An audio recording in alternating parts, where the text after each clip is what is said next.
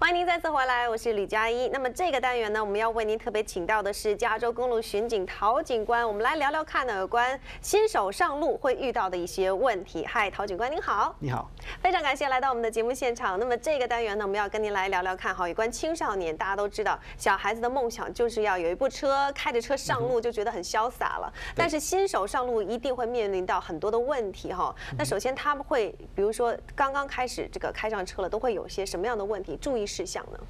嗯，像新手开车，特别是青少年啦，哈，当你刚刚拿到驾照、未满十八岁之前呢，加州有这个规定，就是说你未满十八岁刚拿到驾照，有一年的时间，哈，你的车子里面不能有任何乘客。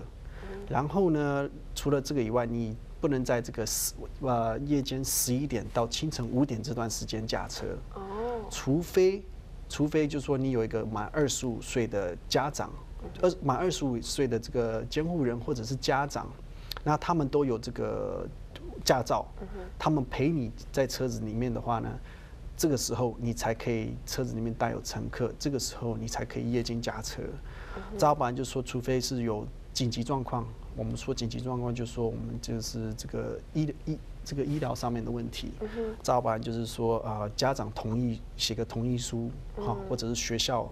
呃，接受到这些同意书书，让你可以这个刚拿到驾照带有这个乘客的话，这样子才可以。当然是有一些这个要求和规定的哈。对。那我知道这小孩子十五岁半就是可以开始参加笔试了，对不对？对。但是还不能开上路吧？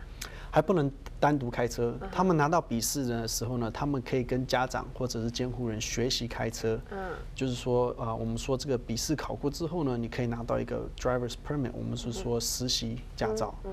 在这段时间呢，你旁边必须要有个这个拥有。监护人，监护人，呃，除了是监护人以外，他还必须要有拥有驾照，才可以坐在你旁边。哦，所以还是有一定的要求的。那么，对于说小孩子来说，他真的就是刚刚拿到这个 permit，像您刚才所说的啊，临时驾照吧，这叫对不对？临时驾照的时候，但他就是呃，搞不好被警察给拦截下来了。这个时候，他旁边又没有任何的人，呃，这个成年人也好啊，或者说监护人也好，都没有在他旁边，这怎么办呢？像碰到这种情况的话，哈，他被拦下来的话，他就算是无照驾驶。哦。那碰到这种情况下，他就会被开一张罚单，就是，然后这个呢是算是我们所说的呃 misdemeanor 啊，就是有也算轻罪了。轻罪，对，算轻罪。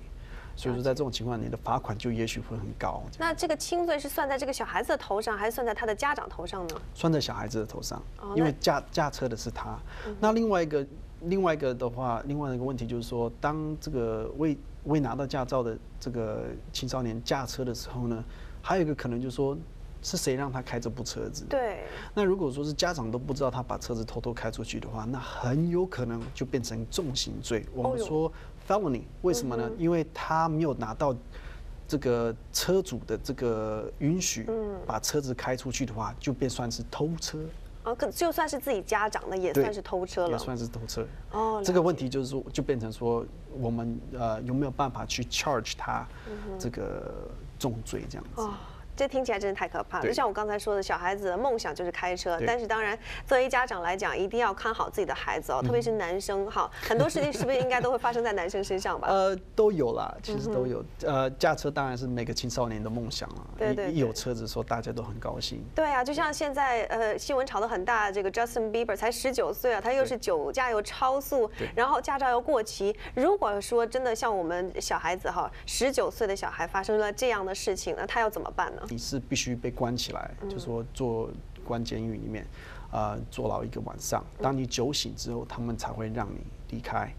那再来就是说，嗯，你面临的就是很多酒后驾车这种问题，要请律师啊，然后这个拖车，车子会被拖走，然后还有一些这个花很多时间跟人力去办，把这个去上出庭上法院。把这件事情搞定，这样。这虽然说他十九岁还没有到二十一岁，但是要面临很多成年人要面临的这些问题哈。是的。那也就是说，对小孩子来讲，真的不应该太早的让他们去接触这些开车，而且就算是开了车了，但是也要让他们知道这些正确的法规到底是什么哈。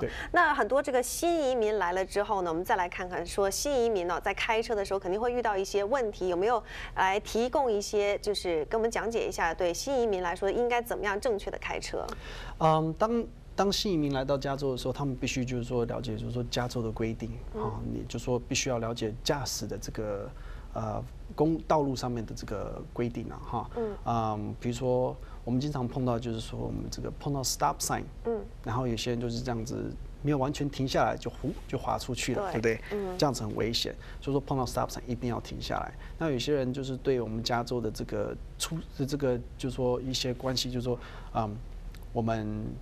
后面有警车、有消防车、有救护车，他们在闪灯、有警铃在响的时候，他们该怎么办？嗯，那有些人碰到这种情况就紧张啦，紧张车子就停在路中间，对不对？那就是我们就是要提醒民众，就当你碰到这个情况的时候。尽可能的安全的把车子靠右边，所以说这些警车啊、消防车、救护车，他们可以安全的从你旁边超越过去，到他们该去的地方。了解，非常谢谢陶警官来到我们的节目现场。当然要再次的提醒观众朋友们，开车的时候呢，一定要特别的小心，小心开车。祝福大家有一个快快乐乐的一天哦。我们休息一下，进入广告，马上回来。